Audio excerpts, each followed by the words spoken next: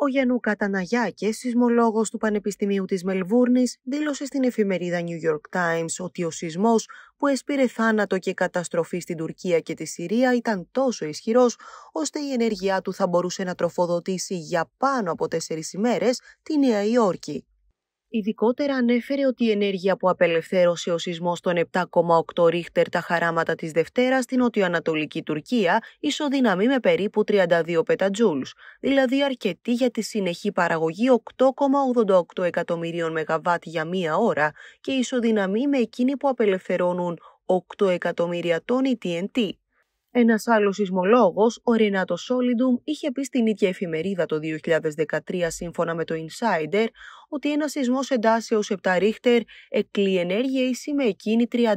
ατομικών βομβών, σαν αυτή που ισοπαίδωσε τη Χειροσύμα, ενώ ο Τούρκος σεισμολόγος εκτίμησε ότι η ισχύς του σεισμού αυτού ήταν ίση με 130 ατομικές βόμβες.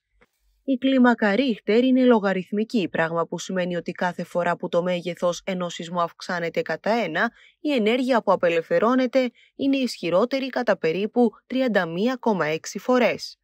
Άρα ο σεισμός των 7,8 ρίχτερ της Δευτέρας απελευθέρωσε σχεδόν 45 φορές περισσότερη ενέργεια από εκείνον που έπληξε την ίδια περιοχή της Τουρκίας τον Ιανουάριο του 2020. Ο σεισμός της Δευτέρας σημειώθηκε στο ρήγμα της Ανατολικής Ανατολίας, όπου είχαν καταγραφεί μόλις τρεις σεισμοί άνω των 6 ρίχτερ από το 1970, σύμφωνα με το Αμερικανικό Γεωλογικό Ινστιτούτο. Ένας από τους φωνικότερους σεισμούς στην περιοχή, εντάσσεως 7 ρίχτερ το 1822, φέρεται να προκάλεσε το θάνατο 200.000 ανθρώπων.